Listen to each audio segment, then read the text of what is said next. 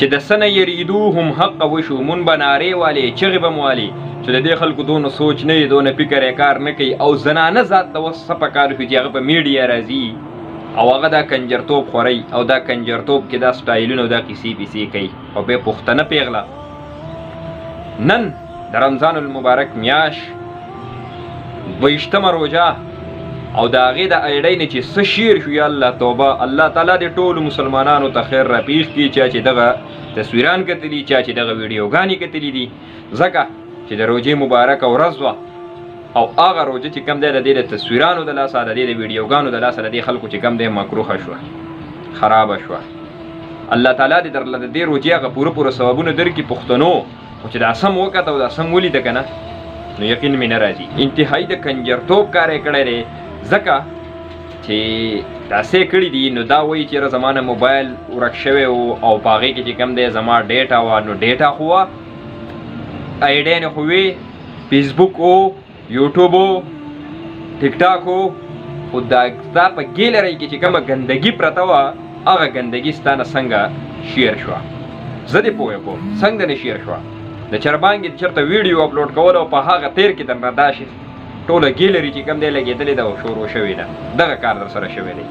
نن یې دغه یو پرتوک جوړ کو وایي زما نه موبایل ورک شوی دی په هغې کې چې کوم دی دا دا قیصه پیسه وشوه ستانه موبایل ورک شو نو دا غینه مخکې به دی ویډیو کله چې زمانه موبایل ورک شوی زما ایډي او غیره دې ته خطر ده هغه چانه لري کتلی یو میاش بعد تر ازي زمانه موبایل ورک شوی او یو میاش بعد چې کوم دی ستا هغه ګیلری نه غندګي چې کوم دی هغه اپلوډ کیږي دا سا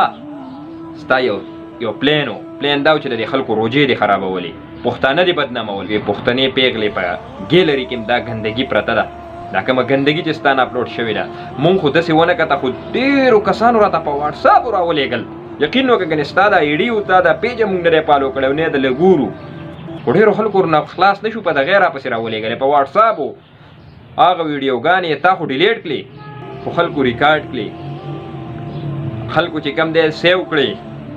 هغه ګندګي چې تا کوم اپلوډ کړي هغه اوس نه ورکیږي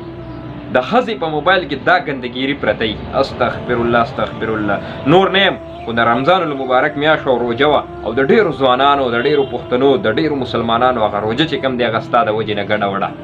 او ستا د وجې نه خرابه ستا د وجې نه مکروهه د دغه چې سونه ګناونه شوي د سونه خلکو چې دا روزه خرابه شوي د دې ټولو کې چې کم دی ستا پوره پوره حصہ ده ستا د وجه نه دا کار وشو ډیر خلک دا ګندګيري ګوري کوي خو کم از کم په دې روزه کې چې کم دی احتیاط کوي په دې کې به د نظر هم خیال ساتي د جبې به هم خیال ساتي د غوګونو به هم خیال ساتي د لاسو به هم خیال ساتي د خپو به هم خیال ساتي د ټوټل وجود به خیال ساتي او اته په خلکو باندې سو کړه نو پښتنو وس پم چې کم دی ډیر شقانی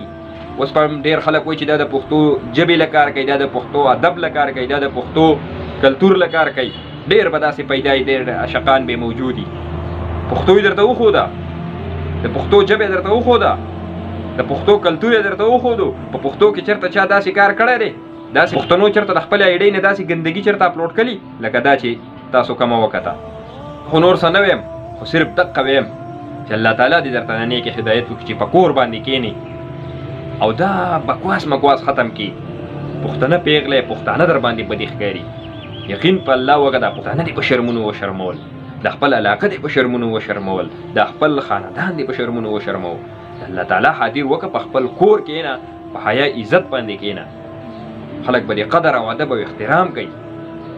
پښتنو کومه ګندګي چې د دې د ایډۍ نه اپلوډ شوې ده نو توبه استغفر الله که چا کتلي جو هغه خو تاسو کتلي خو که چا نه کتلي نو د کتو نه ده چې وې نه ګورئ ورې د کتو نه ده ښه کومه ګندګي چې د اپلوډ کړې ده استغفر الله استغفر الله الله دې راته معافي وکړي راله واتساپ ته ډېرو کسانو راولېږل مونږ چې دا څه دي نو هغه هغه څه چې توبه استغفر الله مونږ د دې غمه مونږ بازار ته نه راځو